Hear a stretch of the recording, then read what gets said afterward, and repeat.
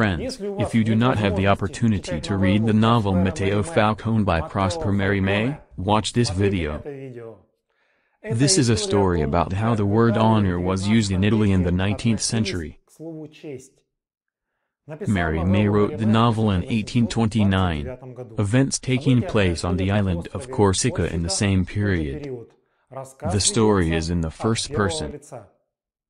So, if you go deep into the island, then after three hours you can go to the thickets of poppies. Poppies are the birthplace of shepherds and criminals. Poppies are a dense vegetation, something in between trees and shrubs. Only if you have an axe can you pass through the poppies. Well, if you killed a man, then you need to run in poppies. There you will live in safety. Of course, if you have a gun, gunpowder and bullets, shepherds will feed you. But justice or the relatives of the murdered person have nothing to fear here. When I visited Corsica, the home of Mateo Falcone was located about a kilometer from these poppies. Mateo was rich, he lived honestly. His main income was herds. And he had a lot of them. Matteo was not yet fifty. He was short, but strong.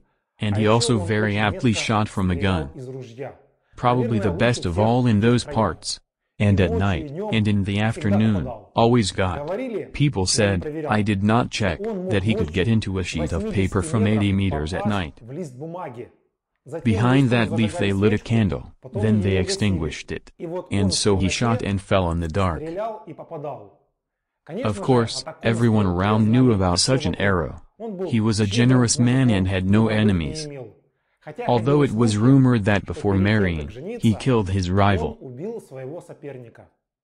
Of course a shot from a gun. But that story was hushed up. And Mateo quietly married Giuseppa. His wife bore him three daughters first. Mateo was furious.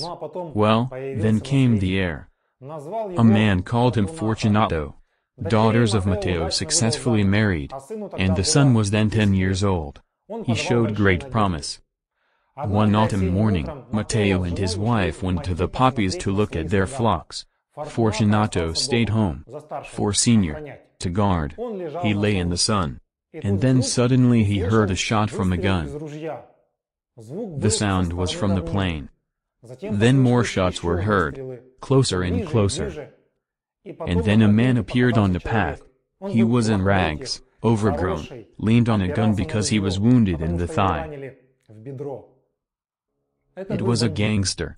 At night, he went to the city for gunpowder and was ambushed. Are you the son of Mateo Falcone? he asked. Yes. I'm Janetto Sanpiero. Chasing me. Hide me. Fortunato replied that he could not do this without the permission of his father. And he offered to wait for him. There was no time to wait for the poor fellow.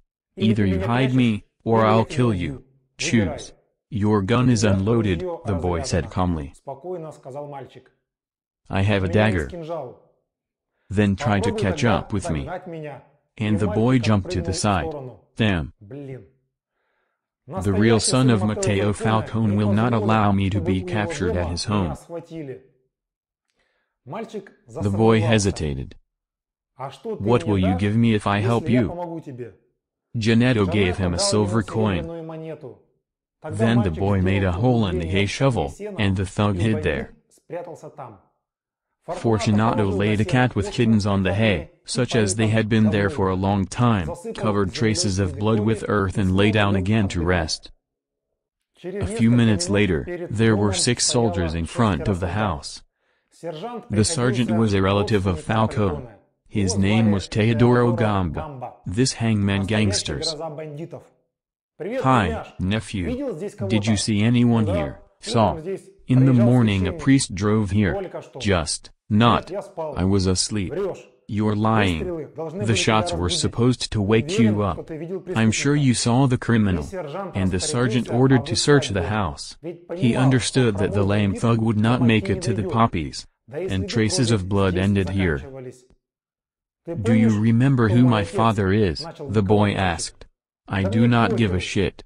I can take you to jail and cut off your head if you can't tell where Janetto is.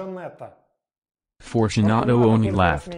The soldiers told the sergeant that he did not quarrel with Mateo. Meanwhile, the search in the house ended. The boy calmly stroked the cat. One soldier jabbed his bayonet into the hay, nothing. Then the sergeant pulled a silver clock out of his pocket. Expensive clock. Fortunato's eyes immediately sparkled. Do you want? asked uncle. The boy wanted. I really wanted. But did not show the mind. Uncle brought the clock to his face. He saw that there was a struggle inside the boy. Finally, the nephew reached out for the clock. Uncle put the clock in his hand, but the chain has not yet been released. The boy pointed at the hay with his thumb, and the sergeant let go of the chain. Taking the clock, Fortunato bounced aside, and the soldiers immediately began to scatter the hay. Bandit tied up. The boy threw him his silver coin. But Janetto did not even look at her. I can't go, he told the sergeant. You have to carry me. While the soldiers were preparing a stretcher and bandaging the wound of the gangster, Mateo and his wife emerged from the poppies. His wife carried a heavy bag of chestnuts, and Mateo carried an easy gun. When he saw the soldiers, he first thought that they had come for him. It seems like he did not remember the guilt for himself, but you never know. He aimed his gun and slowly began to approach the house. The sergeant saw him and thought too, why is Mateo aiming at them? Damn, okay. And the sergeant went to meet Mateo. Hello. Do not shoot. I am your relative. Mateo removed the gun. Teodoro told why they are here. If it were not for your son, I would not have found him. Janetto hid in the hay, and Fortunato revealed his cunning. Mateo said quietly, Damn. He and the sergeant approached Janetto. He spat on the threshold of the house and said that this was the house of the traitor. Mateo did not respond to the insult. He was heartbroken. The boy brought the arrested bowl of milk, but he refused to take it from his hands. And he asked for a drink from a soldier. Soon the sergeant with the guys carried Janetto on a stretcher. It took about ten minutes. Mateo was silent. The son was scared. He cried. Mother saw the clock chain. Where do you get your clock from? she asked. Uncle Sergeant gave. Mateo snatched them and immediately smashed to the ground. He said that Fortunato became the first traitor in the Falcone family. Mateo took the gun and went to the poppies. He told his son to follow him. Giuseppa understood everything. She kissed her son and returned to the house in tears. Mateo and son went into the poppies. Pray, son, said Mateo. The boy asked not to kill him. He cried and read Our Father, I believe, Mother of God. Mateo raised his gun. God forgive you. He said and fired. The boy fell dead. Mateo went to the house for a shovel to bury his son. Towards him ran out Giuseppa. I did justice. He died a Christian. Said Mateo. That's the story, friends.